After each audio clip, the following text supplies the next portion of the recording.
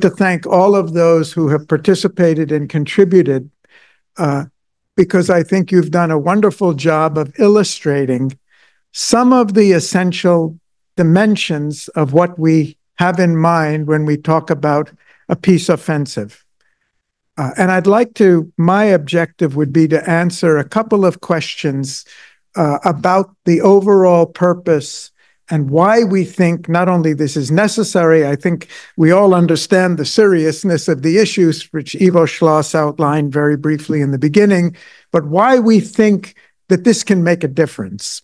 Hmm. Uh, just for background, for those who are not acquainted with the work of the World Academy, very briefly, we were founded by eminent intellectuals and many scientists and many physicists uh, concerned with the result of the impact of science when we developed the nuclear energy and nuclear weapons 75 years ago.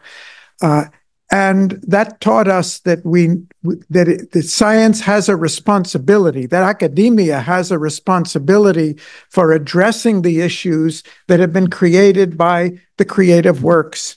Uh, and that's our origin. We've spent the last 65 years trying to understand better why the, the strategies up until now have not more fully been more fully successful. We still have nuclear weapons and nuclear threats and even accelerated uh, threats of nuclear weapons today than before, and what we need to do differently.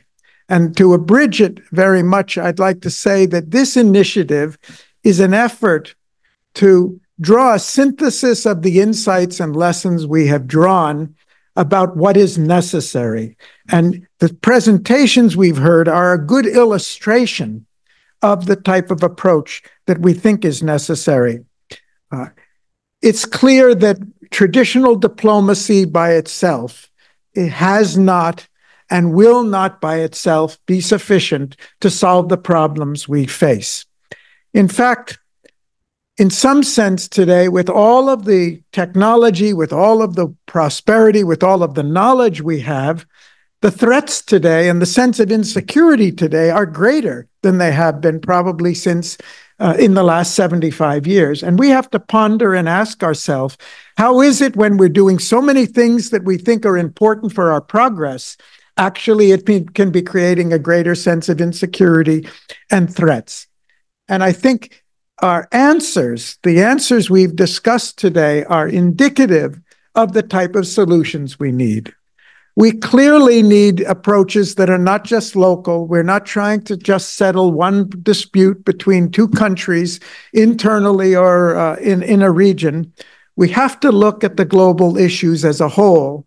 And a, and a peace offensive has to have as its, as its measure what we can do at the global level not necessarily or entirely, certainly through global institutions. Our global institutions today are not yet mature enough, not yet empowered enough, as Anna said, to really deliver the force we need.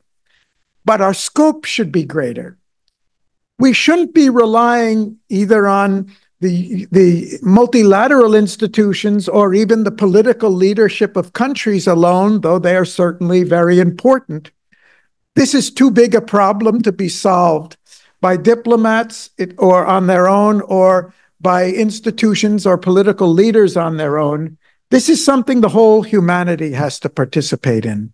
And when we talk about a peace offensive, we're talking about a global social movement in which all partners, all stakeholders, all sectors. We're working with the business community, high technology companies, uh, national uh, science academies, universities, parliamentarians, uh, international organizations of parliament, 180 parliaments of the world, religious organization. This is too big and too important to say it's the responsibility of somebody. It's all our responsibility.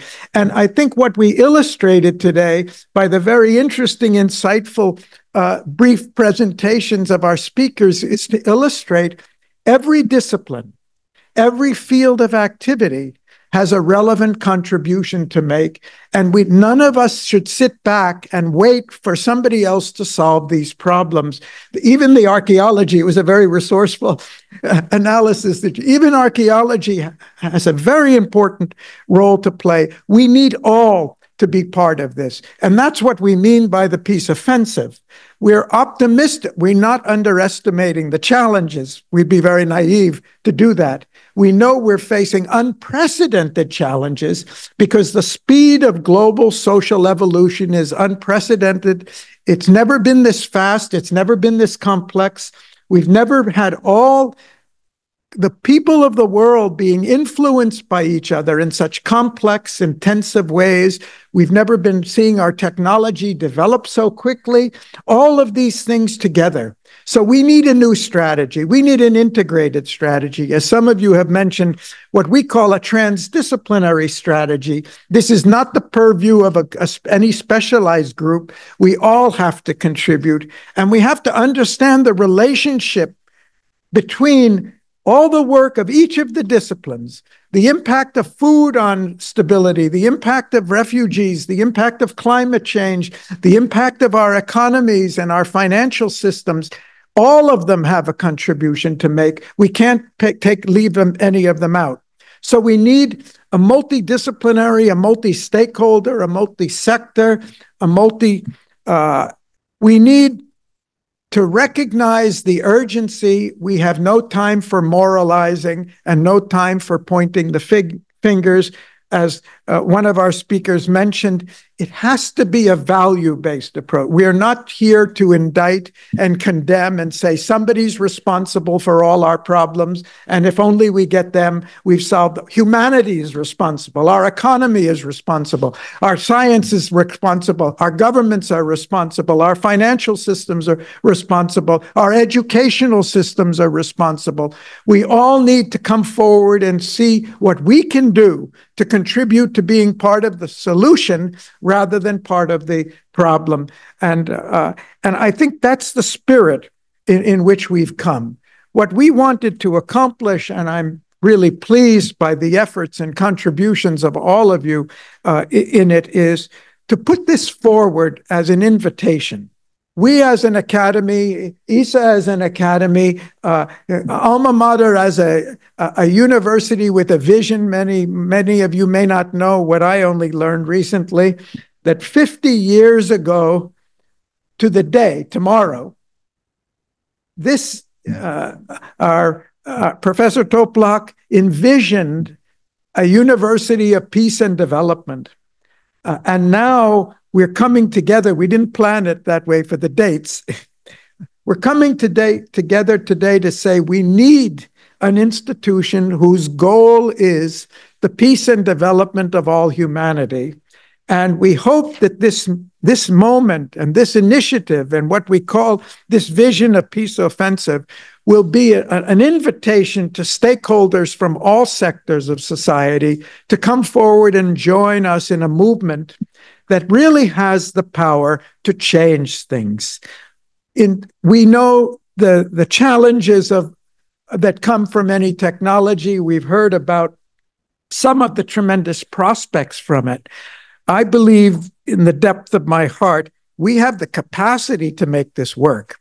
We have the resources and the knowledge to make it work, but we can't do it in a fragmented way. We can't do it by trying to find who's the culprit is causing all our problems.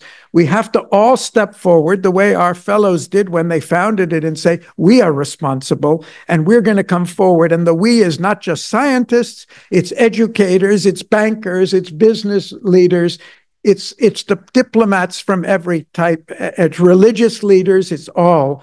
If we do that, this intensity, the difficulty, the un- unprecedented challenges and threats we face can give us the power and the motivation to do what we haven't done before is to break out of our conservatism or our tradition and do what really needs to be done. And that is to reinvent our institutions uh, and work together globally to make it happen